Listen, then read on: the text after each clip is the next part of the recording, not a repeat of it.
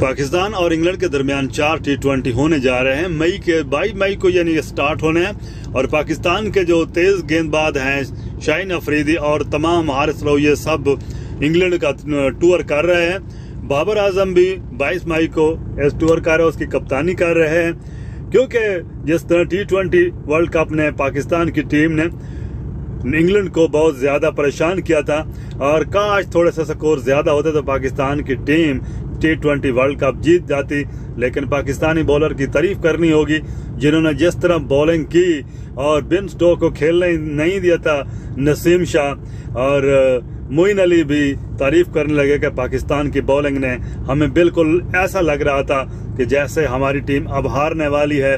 ये तो ऐसा हुआ कि बिन स्टोक बाल बाल बजते रहे, जो गेंदे हैं उनके बैट के करीब से गुजरती रही और किस्मत ने हमारा साथ दिया, वरना पाकिस्तान की बॉलिंग एक अजीब गरीब है। इस तरह जादुई बोलेंगे मानते हमारी बॉलिंग भी है, लेकिन पाकिस्तान की तारीफ़ करनी होगी।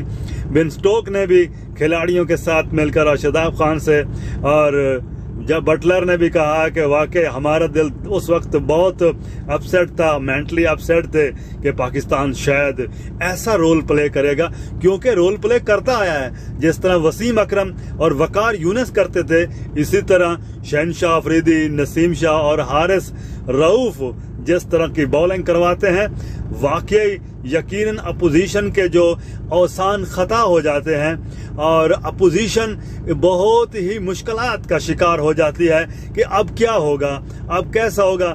और शहन शाह अफरीदी ने जैसा सपेल किया है, जैसा उन्होंने world cup sorry world record बनाया है कि उन्होंने एक ही ओवर में चार खिलाड़ियों को आउट कर दिया। उन्होंने अपनी बॉलिंग दिखाई है कि इंग्लैंड में दोबारा मेरे चैनल को सब्सक्राइब दोबारा भी, भी ऐसा कर सकते हैं।